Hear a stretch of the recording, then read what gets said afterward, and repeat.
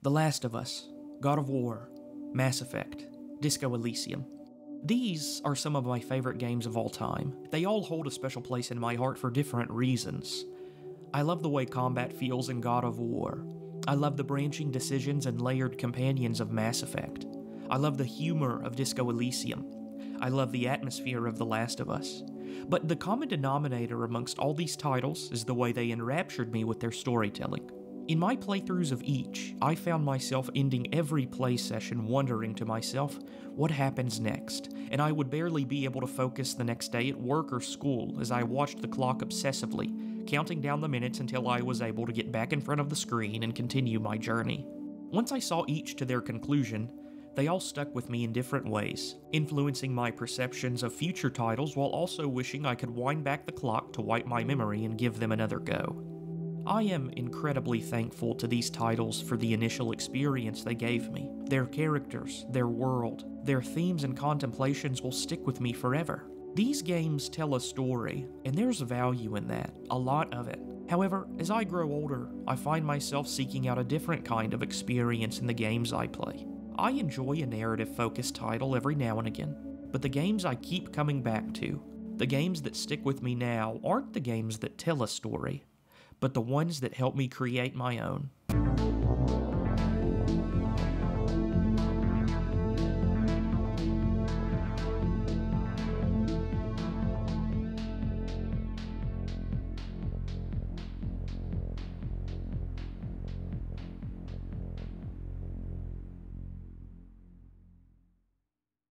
Story generators are a type of game that create its narrative on the fly based on the way the player interacts with the game's systems. Compare this to the other type of game that we'll call a storyteller. Storytellers are games like the aforementioned Last of Us, God of War, Mass Effect, and Disco Elysium. These games lay out pre planned narratives with intentional beats, twists, and scenes. Now, it's important to note that a storyteller doesn't have to be linear. Over the years, as game technology has improved and developer focus has been shifted to value player choice, we're seeing titles give power back to the players as their in game choices affect the outcome of the narrative. It doesn't change the fact that all the choices you're making and everything you're seeing has been accounted for by the developer. When playing a storyteller, the player plugs directly into the intentions of the developer by virtue of simply interacting with the game. When playing a story generator, on one end there is the player, on the other end, there's the game world and its mechanics, and this gray area in between the two is where the story happens. So far, this has all been pretty nebulous. It's easy to understand what a storyteller is about. You've most likely played plenty of storytellers in your time. But here's a litmus test you can use to start making the distinction between storyteller and story generator. Imagine you're back in high school or middle school, right in the middle of a game capturing the cultural zeitgeist. You know, like it just seems like everyone and their mother is playing this particular game. For me, these games were Call of Duty Black Ops, Red Dead Redemption 2, and most recently, Elden Ring. Okay, so imagine you and all your friends are playing this game simultaneously but separately. You've just gotten to lunch and you're about to sit around the table with your friends and discuss your experiences from the night before. You sit down at the table next to your good friend Harold. You didn't want to sit here. You just happened to be last in line, and this was the only seat left. You see, no one wants to sit directly next to Harold, because Harold smells like fucking chlorine. However, you resign yourself to your position, take your seat beside your public pool scented friend, and the discourse begins. If said discourse leads with, Oh my god, dude, have you gotten to the part where X? You are playing a storyteller. However, if the discourse leads with, oh man, you'll never believe what happened last night when X, then you are playing a story generator. Now, this isn't a perfect test because, as we'll get into later, this discussion takes place on a continuum, but this gives you a good starting place. Even after that example, it still may not be obvious as to what exactly a story generator is, so let's use an example, a rather notorious one.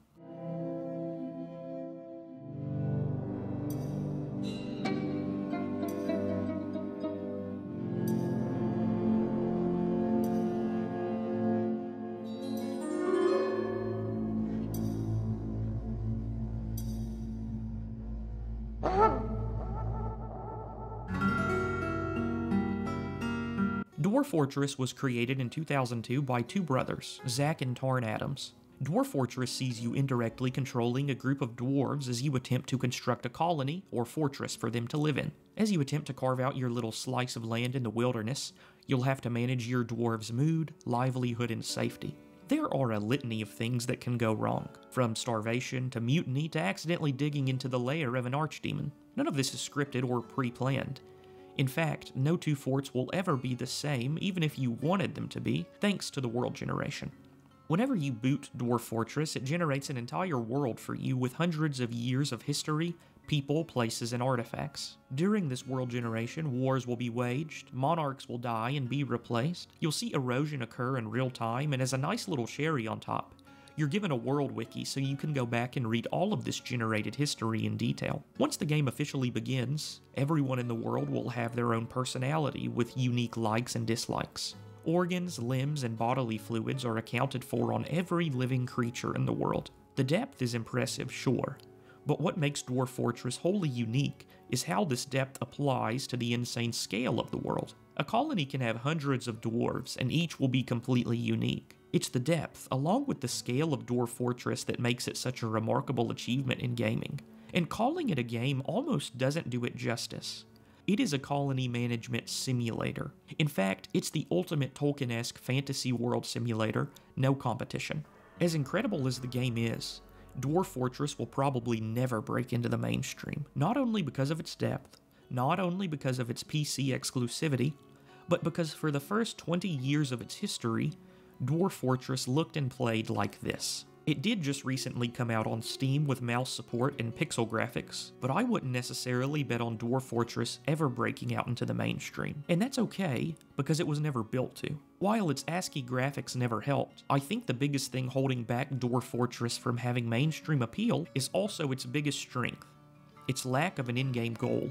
The motto of Dwarf Fortress is losing is fun. Inevitably, every fortress will fail in hilarious and sad ways given enough time. There is no winning. You can set personal goals for yourself, but it doesn't change the fact that somewhere down the line, your time will come, whether it's before or after you reach those self set goals. I won't touch on it too much because ultimately this video is about a lot more than just Dwarf Fortress, but in the description, I'll link below to some of the game forums and videos that give you a better idea of just how insane Dwarf Fortress can be. While Dwarf Fortress itself will never be world famous, it is the progenitor of much more popular games, chiefly Minecraft, but also Terraria, RimWorld, FTL, and more. The point being, Dwarf Fortress is about you, the player, taking a group of dwarves and trying to make the best of your situation as you encounter a dynamic list of obstacles and events. Nothing in this game is pre planned or scripted. Each playthrough of Dwarf Fortress is like a fingerprint, completely unique and will never be replicated again. It's the most notorious and most extreme story generator out there. But as stated before, the storyteller versus story generator discussion exists on a spectrum. Very few games are solely one type, most possess a mix of the two. If this here represents the teller versus generator continuum, then Dwarf Fortress would be here. So, what would be on the opposite end of the spectrum, embodying a pure storyteller? For this example, we'll go with Life is Strange. Life is Strange sees you assuming the role of Maxine Caulfield, a high school girl who has recently gained the ability to rewind time. Just like Dwarf Fortress, calling Life is Strange a game almost doesn't seem appropriate. It's more like an interactive novel. You can rewind time to experience different branching pathways and decisions, but everything you are seeing, doing, and interacting with is meticulously crafted by the developers. Of course, there's nothing wrong with this.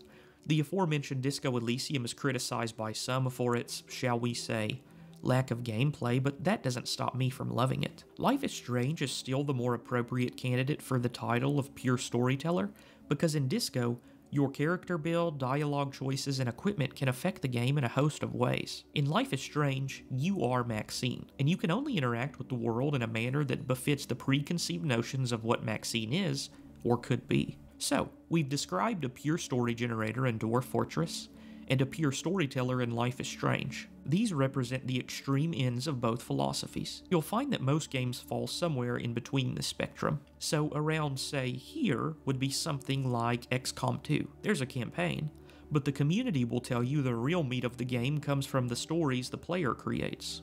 That character they spent hours with who sacrificed themselves for the good of the team. The time the squad seemed to be in an inescapable situation, but they escaped just by the skin of their teeth. In instances like XCOM 2, there is a story, but what's remembered by the player is the story they themselves create. Around here would be something like Red Dead Redemption 2. Red Dead 2 has incredible characters and writing. The plot and story is the main focus of that game, no doubt. However, when you're not partaking in one of the game's linear story missions, the open world presents itself as a widely compelling sandbox for the player to roam around in. Rob a train or a stagecoach, head to the saloon and pick a bar fight, stick around camp and drink with your fellow gang members, it's all up to you.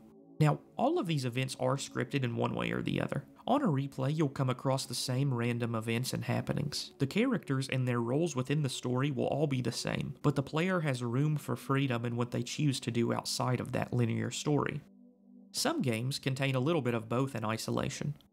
Total War Warhammer 3 released with the Realms of Chaos campaign, which sees the players attempting to free the bear god Ursun from the clutches of chaos. This campaign in isolation would fall somewhere around here on the storyteller versus story generator spectrum. But post launch, the developers released the much awaited Immortal Empires game mode, which combines the maps from all three Total War Warhammer games into one mega map with no plot or preconceived notion of what the player should be doing. Want to play as Karl Franz and attempt to unite and strengthen the Empire?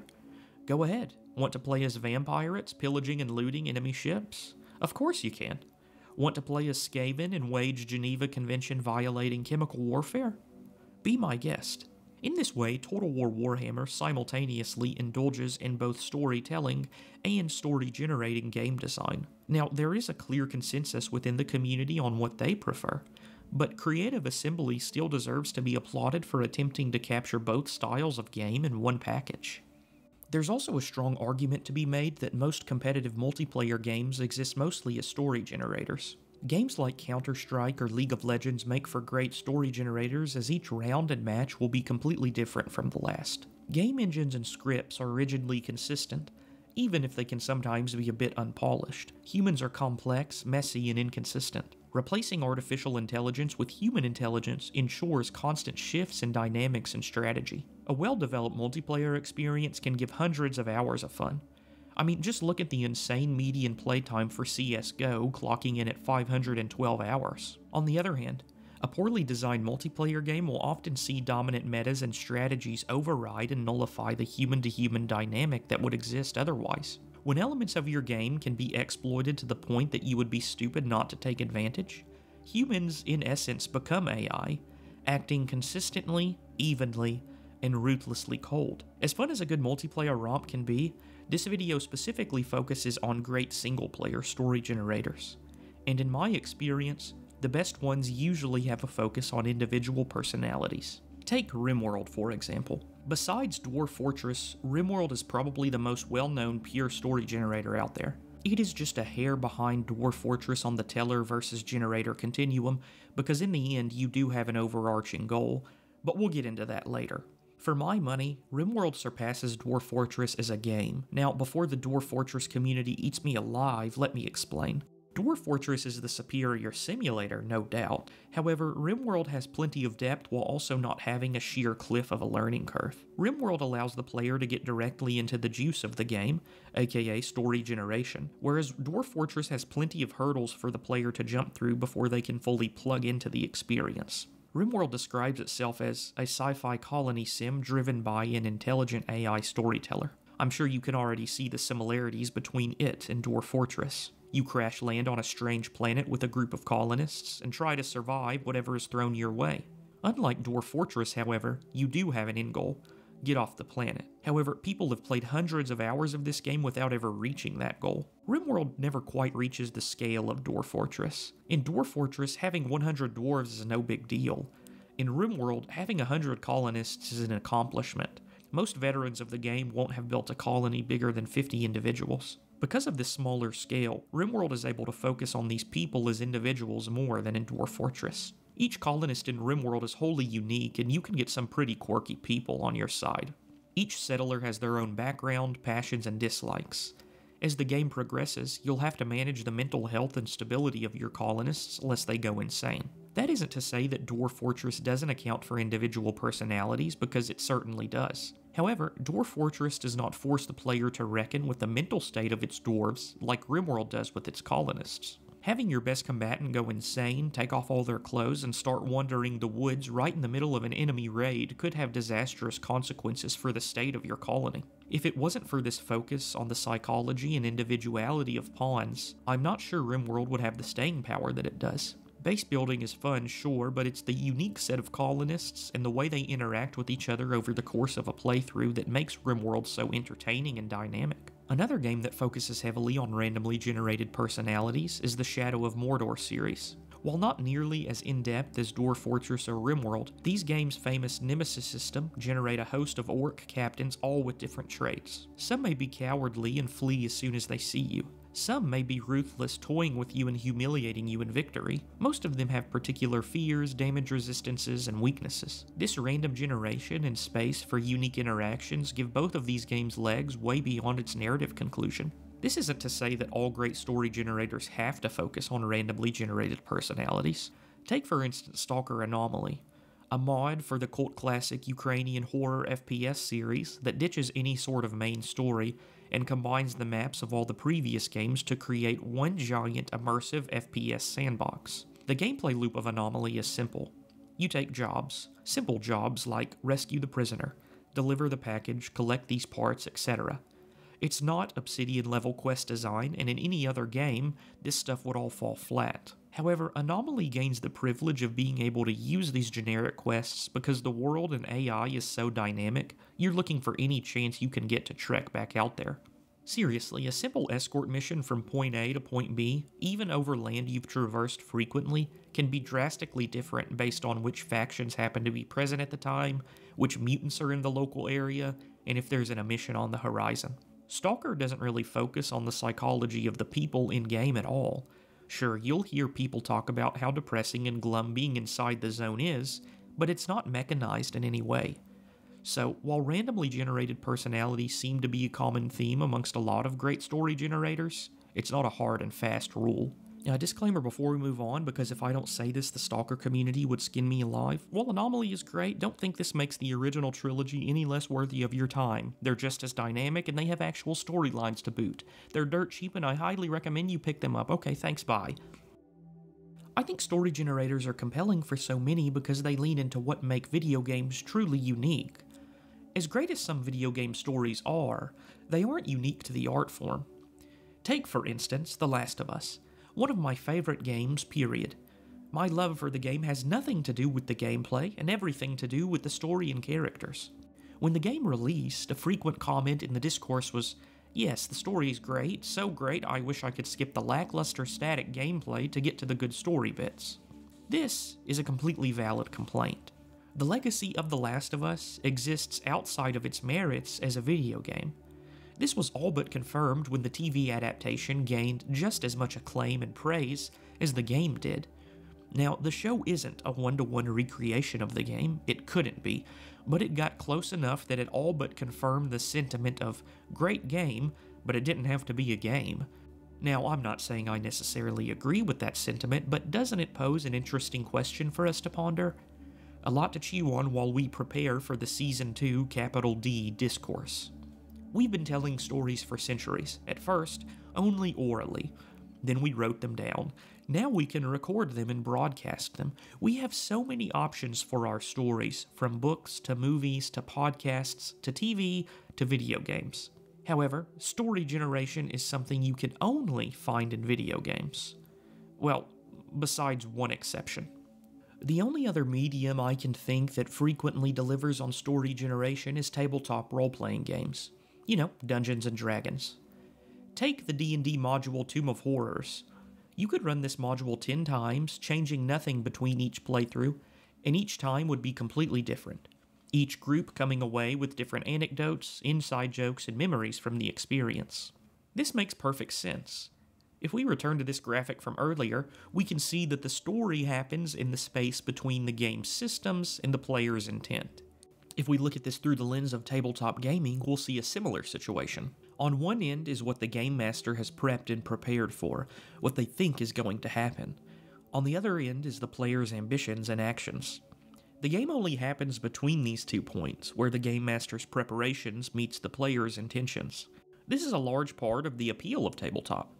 If your D&D game looks more like a storyteller, where the players are forced to meet the game master's preparations on their terms, it never ends well.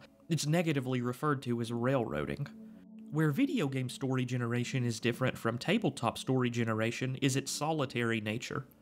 Anytime you put two humans in a situation with differing goals, the result will always be dynamic. Of course, it makes sense that tabletop would be that way. This also explains why competitive multiplayer titles are so dynamic. Story generators are most successful when they're able to simulate the feeling of being head to head with another human. This is why RimWorld has you pick your AI storyteller at the beginning of each playthrough. In reality, whatever you pick is just a jumble of code and numbers designed to perform based on an algorithm assigned to it. However, by giving these AI storytellers a face, a name, and a preconceived personality, you make the player feel like they're entering the experience with another human, and there's a lot of value in that. I'm not here to convince you that one type of game is better than the other. Both storytellers and generators have their own appeal, and having a healthy mix of both in your library is probably best. It's great to be able to sit back, relax, and have a story told to you. It's human nature. We've been telling stories to each other for eons, and if it ain't broke, don't fix it. I just can't help but shake the feeling that story generators don't get the credit they deserve. Dwarf Fortress lives on in relative obscurity even after grandfathering some of the most popular video games of this generation.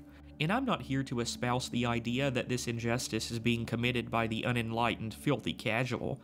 I praised RimWorld for its accessibility when compared to Dwarf Fortress, but that's sort of like giving Fox News a pat on the back for not being as bad as InfoWars.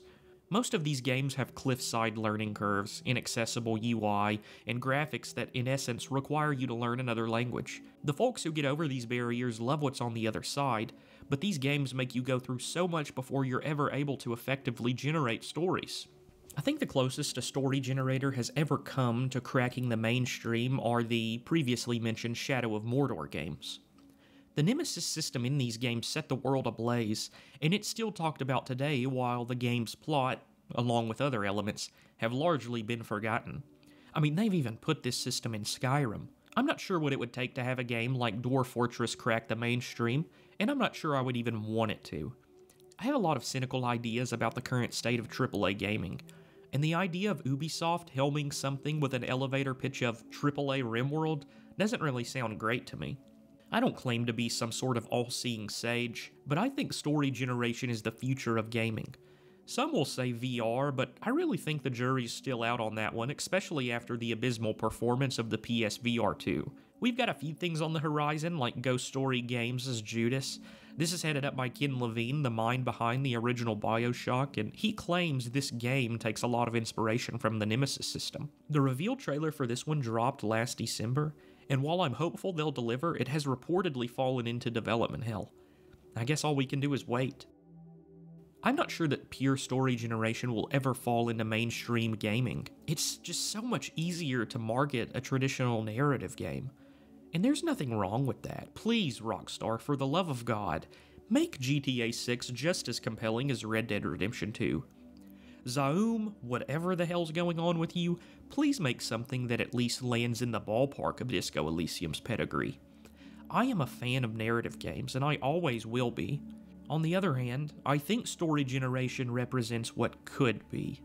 So in the meantime, I'll be in my gamer hole, building a rocket, trying to get off this godforsaken planet. Thanks for watching. If you enjoyed this, please consider liking and subscribing. I'll see you next time, friends.